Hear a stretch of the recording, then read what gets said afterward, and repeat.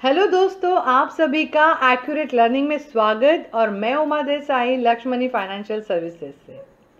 आज हम इस सेशन में आपके सामने ले आ रहे हैं senator Elizabeth Warren popularise budget rule जो कि 50, 30 एंड 20 परसेंट में विभाजित किया गया है जो basically based on needs wants and saving के ऊपर। तो इसे हम और अच्छी तरह से जानेंगे। तो आइए इसे आसानी से समझने की कोशिश करेंगे। सो सेनेटर एलिजाबेथ वॉरेन ने अपनी पुस्तक all your worth the ultimate lifetime money plan इसमें बजट रूल बहुत अच्छी तरह से समझाया है। यहाँ पे उन्होंने income allocation smart income allocation ये कैसा होना चाहिए इसके ऊपर उन्होंने यहाँ पे आ, कुछ की टेक अवेज दिए हैं। तो यहाँ पे हम लोग आज जानेंगे कि इनकम का जो इनकम जो हमारा जो टैक्स जो निकाल के आफ्टर टैक्स जो निकाल के जो हमारे हाथ में डिस्पोजेबल जो इनकम रहता है उसका एलोकेशन कैसा होना चाहिए। तो इनकम एलोकेशन ये बहुत ही इंपॉर्टेंट चीज़ है और इसको सभी को जानना बहुत ही ज़रूरी है।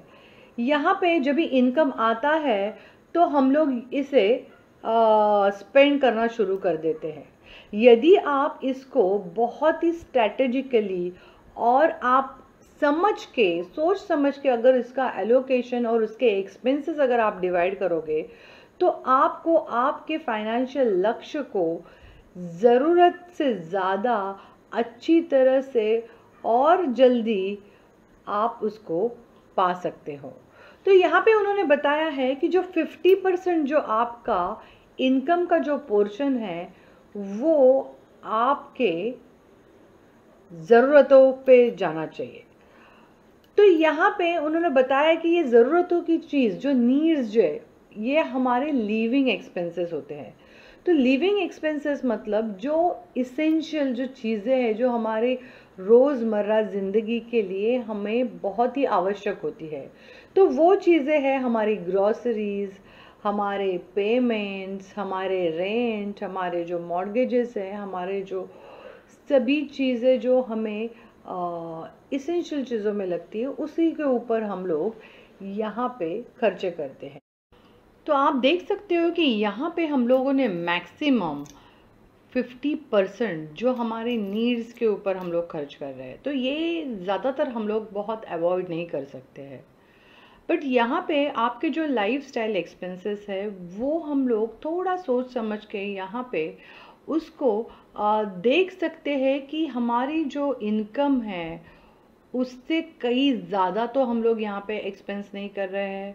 तो आपको ये बहुत मैन्यूटली देखना चाहिए कि आप जिस घर का, घर खरीद रहे हो, उसके जो, उसका रेंट तो बहुत कुछ ज़्यादा नहीं है या ईएमआई उसका बहुत ज़्यादा जा रहा है अपने इनकम के प्रपोर्शनेट तो यहाँ पे ये अगर आप कैपिंग कर देते हो तो आपको पता चल जाता है it is an eye opening exercise कि आपके खर्चे ये किस चीज़ पे ज़्यादा जा रहे हैं और किस चीज़ पे कम जा रहे हैं। अगर आपको लग रहा है कि ये खर्चे ये नीड्स पे आ, अच्छी तरह से नहीं हो रहे तो आप इसको एलिमिनेट भी कर सकते हो। तो जो सेकंड कैटेगरी का जो एलोकेशन है वो है वॉन्ड्स पे और वो जाता है थर्टी परसेंट हमारे वॉन्ड्स में। तो ये वॉन्ड्स हम सभी जानते हैं कि वॉन्ड्स ये जो चाहत है जो हमारा इंटरटेनमेंट है डाइनिंग आउट है, हमारी जो हॉबीज़ है, और जो भी हम लोग जो एक्स्ट्रा नॉन इसेंशियल चीज़ें, इनके ऊपर जब भी हमारे खर्चे होते हैं, ये सभी खर्चे हमारे चाहतों पे आते हैं, जो वॉन्ट्स पे आते हैं। तो इस दौरान जो लॉकडाउन चल रहा है, जो पैंडमिक है, यहाँ पे हम लोगों ने इस चीज़ को बहुत ही अच्छी तरह से कंट्रोल करना सीख लिया है। और हम लोगों ने ये जो बाइफर्केशन है, जो इसेंशियल चीज़ें और नॉन इसेंशियल चीज़ें, ये भी ये दौरान हम लोगों को बहुत अच्छी तरह से समझ में आ गई है। और ये जो इनकम का जो ट्वेंटी परसेंट जो पोर्शन है, ये ट्वेंटी परसेंट पोर्शन ये सेविंग्स के ऊपर दिया गया है। जो सेविंग्स जो चीज़ें हैं, जो आपकी जो कंटिजेंसी और इमरजेंसी फंड क्रिएट करने के लिए, आपके सेविंग अकाउंट और बैंक अकाउंट में जो पैसे होते हैं, उसमें या आप जो इन्वेस्टमेंट कर रहे हैं, जो म्यूचुअल फंड में है स्टॉक्स में है इंश्योरेंस में है, ये ट्वेंटी परसेंट में यहाँ पे ये इनकम का एलोकेशन किया जाता है। ये है हमारा बजट रूल और इनकम एलोकेशन बट यहाँ पे मैं एक बात कहना चाहती हूँ कि जैसे हमारी पाँचों उंगलियाँ ये सेम नहीं होती है, वैसे ही लोगों का नीड्स और वांट्स और ये सेविंग पैटर्न ये एक जैसा नहीं हो सकता है। कई फैमिलीज़ में जो इनकम अर्निंग जो मेंबर है, उसके ऊपर बहुत ज़्यादा डिपेंडेंट भी हो सकते हैं या कई लोगों के फैमिलीज़ में उनके पास बहुत ज़्यादा लोग इनकम जनरेट करने वाले हो सकते हैं और उनके ऊपर डिपेंडेंट नहीं हो सकते। तो ये जो एलोकेशन है, ये आपको बहुत सोच समझ के आपको इसका ध्यान रखना चाहिए। यहाँ पे और एक सिंपल चीज़ है जो हम लोग यहाँ पे देख सकते हैं कि हम लोग minimum fifty to thirty percent इसको कैपिंग कर सकते हैं जो लिविंग एक्सपेंसेस पे ही होगा। और जो थर्टी परसेंट है, वो हम लोग कह सकते हैं कि ये जो थर्टी परसेंट है, ये डेट्स मतलब आप अगर कोई लोन ले रहे हो मॉर्गेज कर रहे हो, इसको आप अपने टोटल इनकम या टोटल आपका जो नेटवर्थ है, उसमें आप इसको थर्टी परसेंट के कैपिंग में रख सकते हो। तो यहाँ पे जो रिमेनिंग एलोकेशन जो है, ये यहाँ पे इन्वेस्टमेंट और सेविंग में चला जाता है।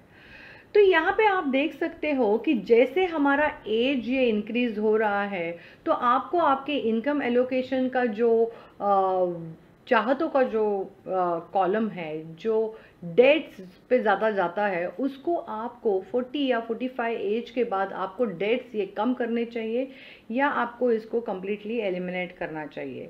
तो हमने आज इस सेशन में देखा कि जो इनकम एलोकेशन जो स्मार्ट इनकम एलोकेशन है, जो फाइनेंशियल थम रूल के हिसाब से जो है, वो है 50 30 एंड 20 तो हमें अगर आपके फाइनेंशियल गोल्स को अच्छी तरह से पाना है रीच करना है तो आपको ये जो फाइनेंशियल गोल्डन रूल्स है फिफ्टी थर्टी ट्वेंटी और आपके नीड बेस के एनालिसिस के हिसाब से आपको इसको एक एग्जैक्ट कैपिंग देनी चाहिए। अगर आपको ये सेशन अच्छा लगा तो please like share and subscribe और हाँ बेल बजाना नहीं भूलना। Thank you